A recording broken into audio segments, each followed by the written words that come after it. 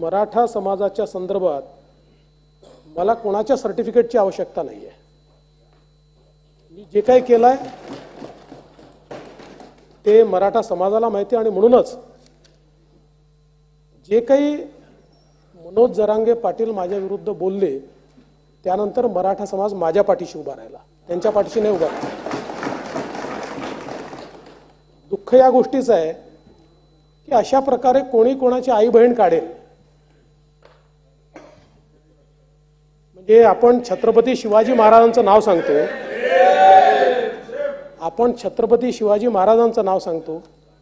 कल्याणच्या सुभेदाराच्या सुनेला अशीच आमची आई असती सुंदर रूपवती असं सांगून वापस पाठवणारे छत्रपती. आणि त्यांचं नाव घ्यायचं आणि लोकांच्या आया बहिणी काढायच्या. पण अध्यक्ष मोदय माझी त्यांच्याबद्दल तक्रारच नाही आहे माझी तक्रारच नाही त्यांच्याबद्दल. खरं म्हणजे याच्या पाठीमागे कोण आहे? तुम्ही म्हणालात ना. हे शोधावंच लागेल. असं आहे जे जो महत्त्वाचा मुद्दा आहे तो शेलारांनी नंतर मांडला आहे. तोच महत्त्वाचा मुद्दा आहे.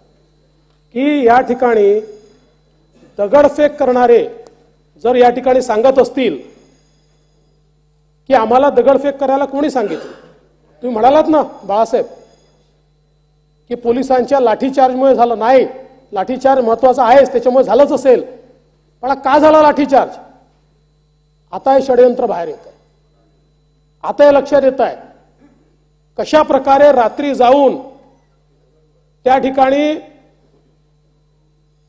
मनोज जरांगेंना वापस आणणारे कोण आहेत? त्यांच्या घरात जाऊन त्यांना भेटणारे कोण आहेत? अध्यक्ष महोदय कोणाकडे बैठक झाली ते सांगतायत मी नाही सांगत आहे. आरोपी सांगतायत आता. आरोपी सांगतायत की यांनी बैठक घेऊन सांगितलं दगडफेक करा. पोलीस आपले नाही आहेत. आपले पोलीस नाही आहेत. आपल्या पोलिसांना मारायचं आणि आपण चूप राहायचं. आणि दुर्दैवाने माननीय बाळासाहेब थोरात साहेब आपण बीडची घटना विसरला. हे शांततेने झालेलं नाही आहे हो मराठा समाजाने जे मोर्चे काढले होते ते शांततेनेच झाले होते. यावेळी शांतता नव्हती.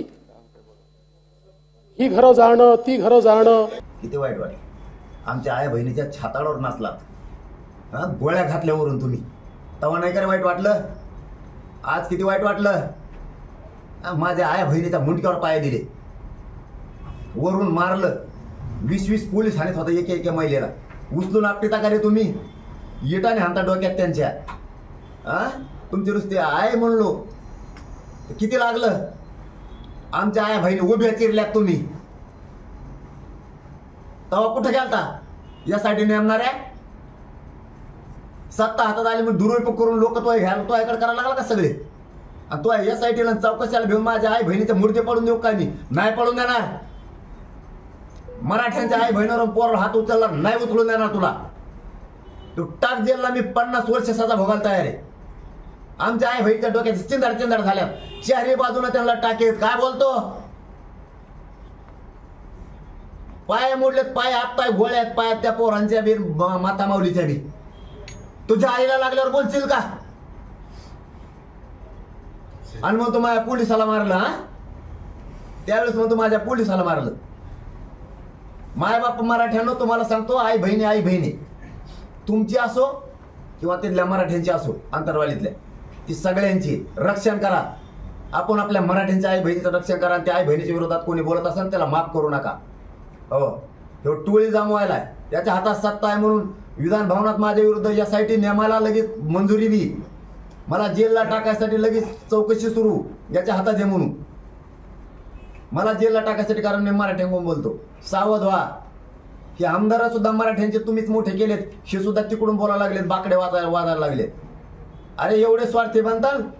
स्वतःच्या आई बहिणीचे इकडे तुकडे केलेत मुंटके मोडलेत. काही काही माता मावलीला आणखीन कमरावर चालता येत नाही. अरे आमदारांना तुमची आई असेल ती. बाकडे काय आवाज येता? त्या केशी माग घ्या म्हणतोय. खोट्या केसेस केल्यात मार खाऊन. आई बहिणीच्या ना आई बारीक बारीक लेकरांच्या पाठीशी उभा राहा. आपल्या स्वतःच्या जातीच्या पाठीशी उभा राहा. तुम्हाला तुमच्या स्वार्थासाठी मोठं होण्यासाठी त्याच्यासाठी काय बाकडाबाजी का मी मरायला